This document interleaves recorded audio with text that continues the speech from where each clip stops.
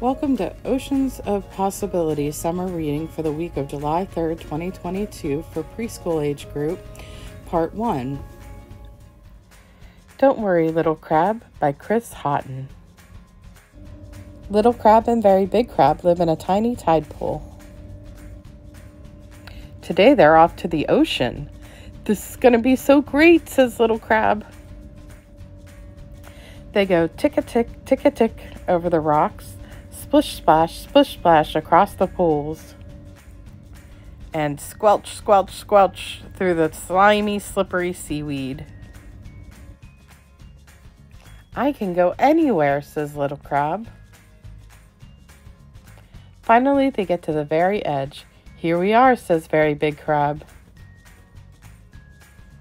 The ocean. Oh, says Little Crab. Maybe it's better if we don't go in the ocean, says Little Crab. Don't worry, says Very Big Crab. It will be okay. But the waves are getting bigger. Look, a huge wave. Hold tight. Here it comes.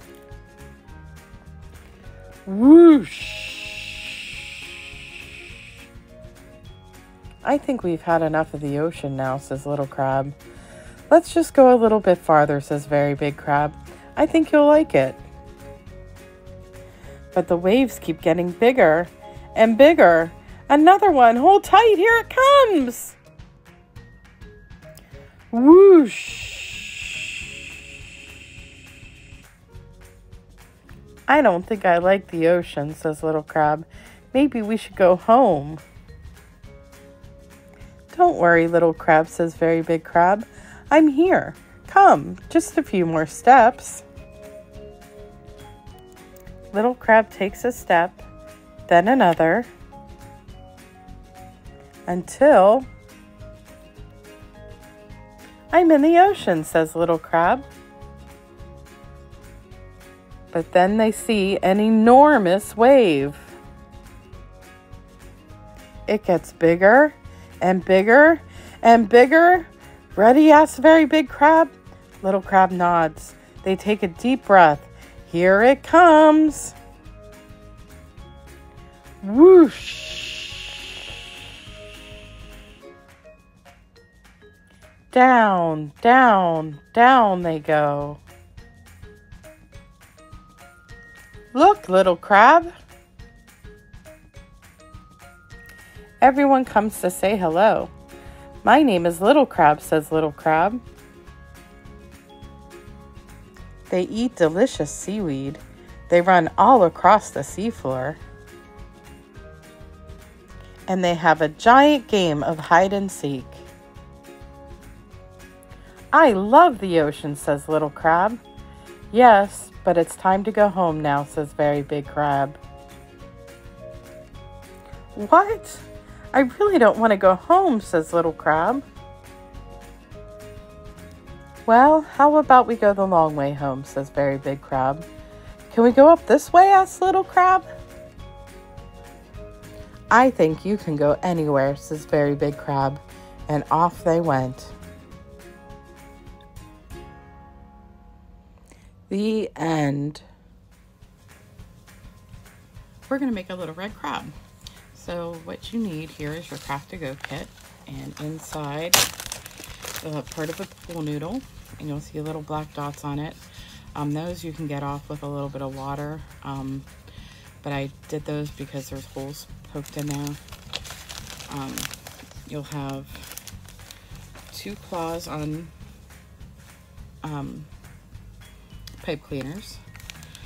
You'll have two eyes on pipe cleaners.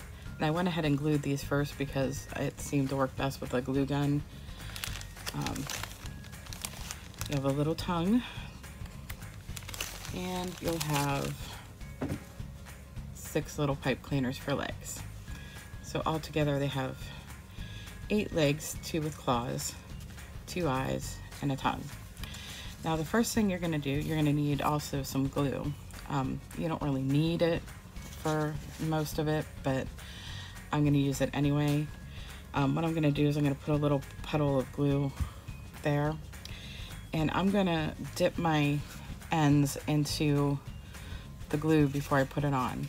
Now the first thing I'm going to do is the eyes. So here are the eyes.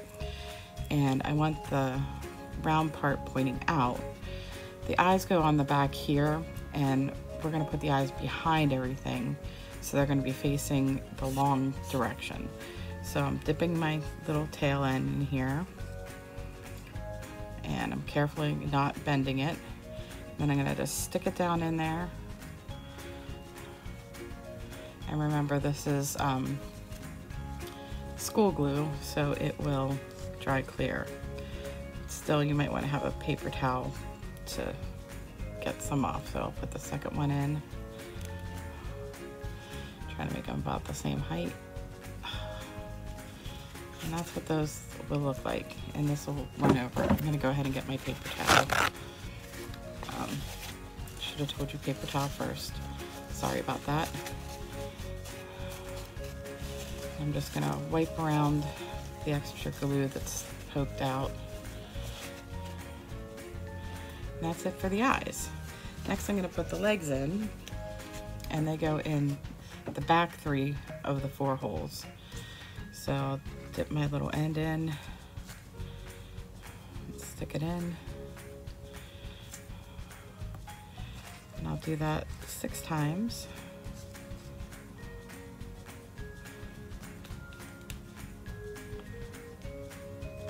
Try to keep them about even. Oops, bent it a little, that's okay. We're gonna bend them all the way after we're done sticking them in. So I got three in, I'm gonna wipe those down. And then we're gonna put the other three legs in. This will be leg number four.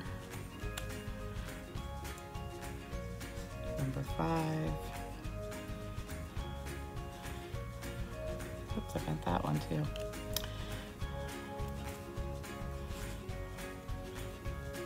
And I didn't cut these perfectly, so some of them will be further in than others. This is number six. So that's why you have to kind of put them in at varying depths.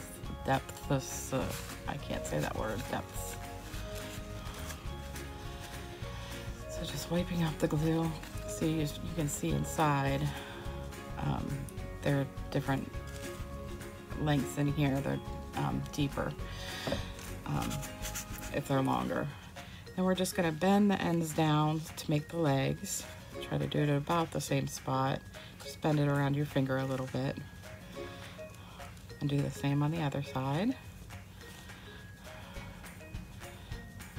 And then he can, oops, he can almost stand up. We need the front claws first. Um, but what I'm gonna do before I put the front claws on, because I'm gonna bend those in, I'm gonna put the little tongue. So I'm just gonna put a little bit of glue on the back end of the tongue, just on the back there, and stick it right there so he's sticking out his tongue at us. Okay, and then the claws, just again, just dip a little bit. Looks like I used just enough glue for everything. Stick that in. And I'm gonna bend that up around front.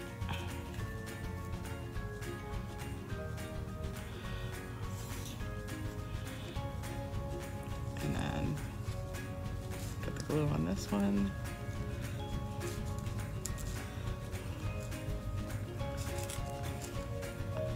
Stick it in the hole. And I'm gonna bend his claw up like that. Doesn't matter how you bend them. Now, you might have to move the legs around a little bit, but you see he's standing still. Um, maybe put his out a little bit. There we go. And that's it, that's our little crab. Let's get him to stand up again. There he is.